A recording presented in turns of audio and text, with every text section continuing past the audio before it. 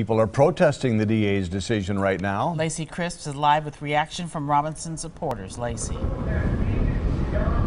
Yeah, we're stopped now right in front of the Dane County Safety Building. Uh, if I step back out of the way, you can see they're uh, taking a moment for a prayer for Tony Robinson. Uh, before the decision was announced, uh, faith leaders from around the community met. Uh, as the decision was announced, everyone was huddled around cell phones uh, watching as the decision came out. They said, well, this is the decision they expected. They're very disappointed that this is the decision. Of course, now friends, family, supporters have gathered uh, in front of the house on Williamson Street, on the 1100 block of Williamson Street, and now we have marched all the way. We're just uh, just a couple of blocks away from the Capitol. They plan on marching around the Capitol and then to a church. Uh, family members that uh, spoke earlier said they know that people want to demonstrate and they want to show their frustration, but they're hoping they do it peacefully to remember Tony Robinson.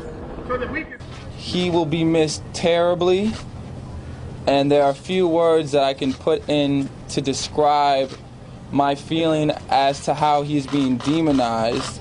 I would just like everybody to keep in mind that this was a 19 year old kid whose life was cut short before he was able to fully realize his potential.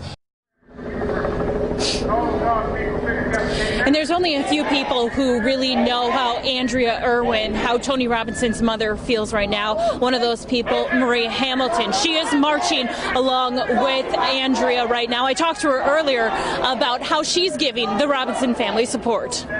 We speak daily. Uh, I talked with her uh, a couple of times this morning uh, to find out um, what she needed from me, what she wanted me to do, and she just wanted me to be here with her.